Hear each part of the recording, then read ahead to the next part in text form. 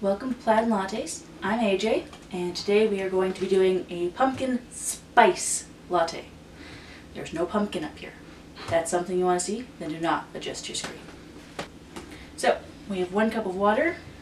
I'm going to turn this on. There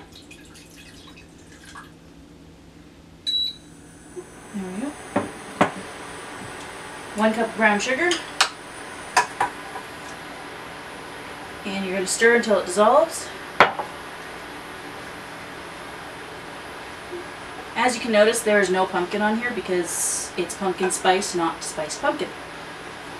This means it'll keep in your fridge a lot longer and it won't be so thick. This will come up to a boil quite quickly. As soon as your mixture does boil, you're going to put in fresh sliced ginger, your mixture of spices, and a couple of cinnamon sticks. So in here we have two nutmegs cut in half, four cloves, a cracked cardamom pod, and two small allspices.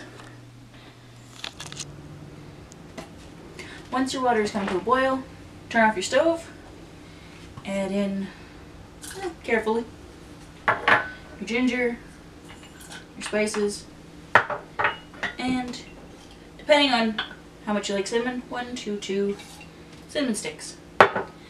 Give it a nice swirl. And the best part about this is, just leave it. I typically will leave it overnight. As you can see, I'm doing other stuff at the time.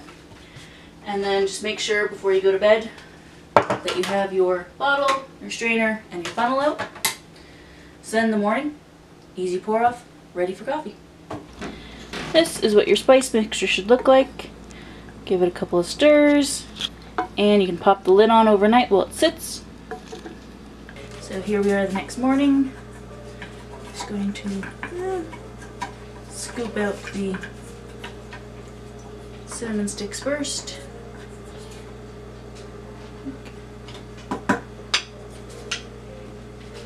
And then strain.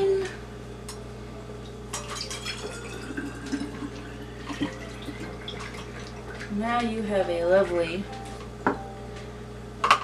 pumpkin spice syrup for your lattes.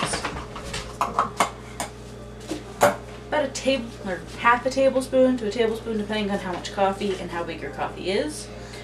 Definitely tastes sweet. This also works great with a tea latte or steamed milk or even if you want to make a hot chocolate with just cocoa and this syrup for your sweetening.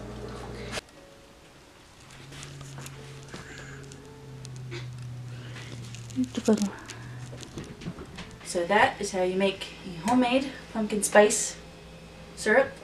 This should keep in the fridge for at least two weeks. Adjust the seasoning to how you like. If you like more cardamom, put more cardamom in. More cardamom in. So that was our first video from Plaid and Lattes. Please subscribe and like. And we will have more content coming soon. More recipes, some crafts, a little bit of uh, home re-energization. And thank you for now.